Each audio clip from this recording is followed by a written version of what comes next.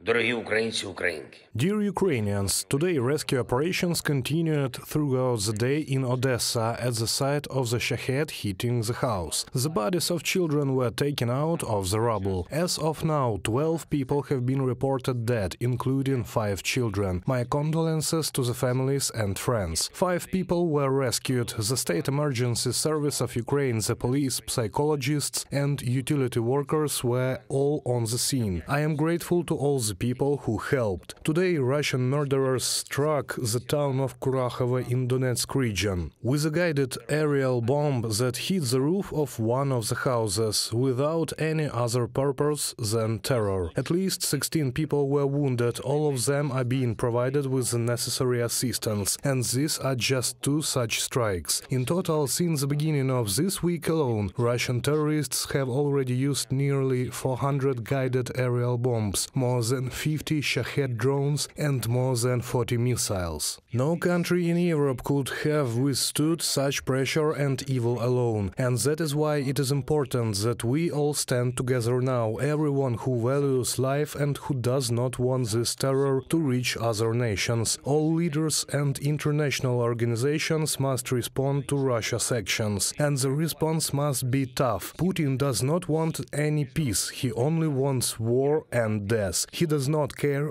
whom he kills. The main goal is to destroy first Ukraine and Ukrainians and then you, dear partners. That is why it is a matter of survival and not only for Ukraine that the world reacts to Russian evil and exerts pressure and hits back. This week alone, we managed to shoot down seven Russian military aircraft, the very ones that drop these bombs and kill. Since the beginning of February, Russia has lost 15 military aircraft.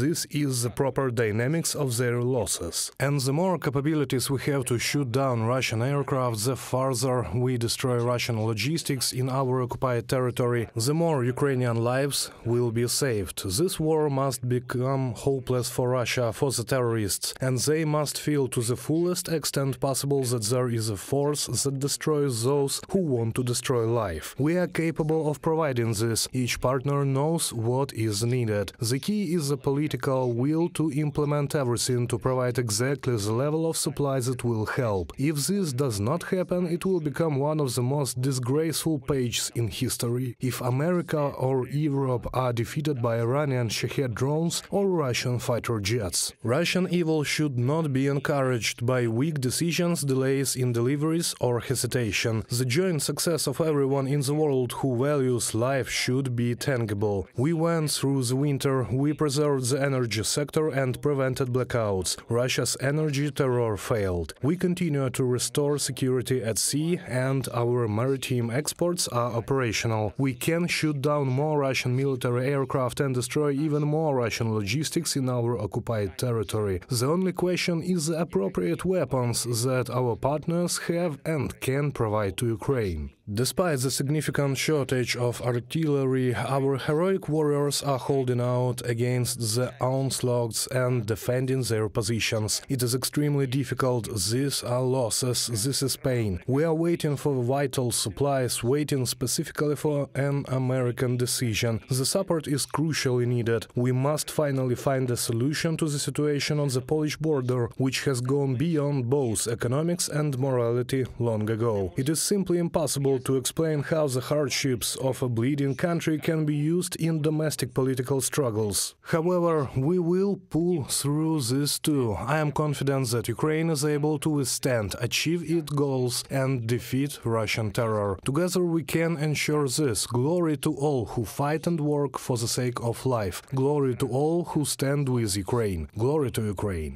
Slava Ukraine.